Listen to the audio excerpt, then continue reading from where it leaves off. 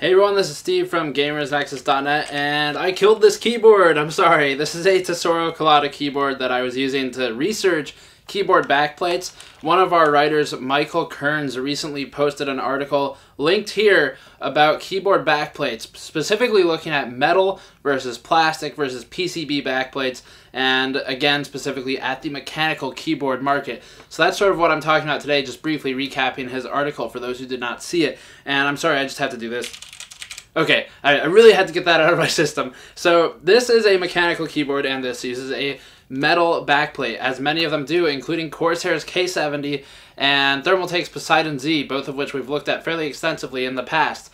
And a backplate is very simply what your switches are physically mounted to.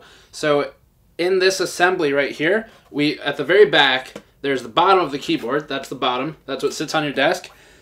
The red board here is a printed circuit board, and that contains all of the circuitry, the transistors, the capacitors, uh, all of those things, effectively all the electrical wiring that ends up inputting the key input to your computer. That's what's there. On top of that is a piece of metal, and that piece of metal hosts our switches, which eventually feed through the PCB and talk to the computer. In this instance, we're using a metal backplate, which uh, I'm not sure if this is steel or aluminum, but I uh, pieces are coming off. But I believe it is. Uh, I believe it is a steel backplate. I could be wrong though. Some manufacturers use aluminum, which is a bit lighter and more expensive, and then others use steel, which is heavier, cheaper, and uh, provides really the same feel as aluminum at the end of the day. So here's the deal with backplates. If it's not metal, it's either going to be plastic which is pretty rare, or PCB, printed circuit board. And in the case of plastic, there are some interesting advantages that Michael Kearns lays out in the article. Primarily, with plastic, you get this disbursement effect of backlights, of LEDs, and that's because uh, the reflectivity of a plastic surface is a bit different than one that is metal, and of course it varies based on how they're painted. And it's very different from one that's that's a PCB. Although most PCB boards will not be LED backlit. There are a few, but PCB boards tend to be very cheap and even not mechanical in a lot of instances.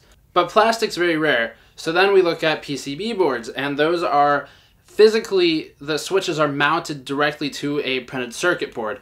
And that's going to be cheaper. It'll flex a lot. You'll see that this, I, I really can't flex it. I'm trying. Uh, that's probably a better angle, but it really doesn't have much give. What you're seeing give here is the plastic back the metal is not moving at all, and that's because it's a big piece of metal, and my nerd arms are not strong enough to flex it.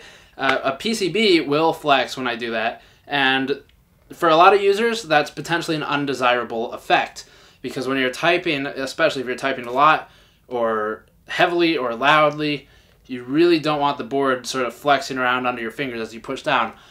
Some users like that. I've definitely seen forum posts where people prefer the flexing nature of PCB backplates. For metal, we get this resilient, thick piece of metal that really doesn't move when you type, and it provides more of a resounding uh, clack, more of a, a, a, very resolute press when you push the key down. And for a lot of users, that resonance is uh, resonating quality because it feels more sturdy or more solid. And that's tr- definitely true to the extent that steel is far more solid than plastic. Now, metal will be more expensive and will be a bit heavier if that's even relevant to you. For some people, it might be, but for the most part, I would imagine not.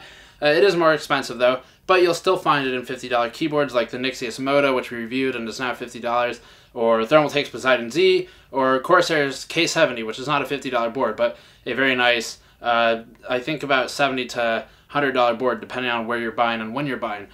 So that is the keyboard backplate differences. Check the article for more information below. Please subscribe if you like this video. It's helped us a lot so far, and I'd love to keep doing these. And I will see you all next time. Peace. Poor keyboard.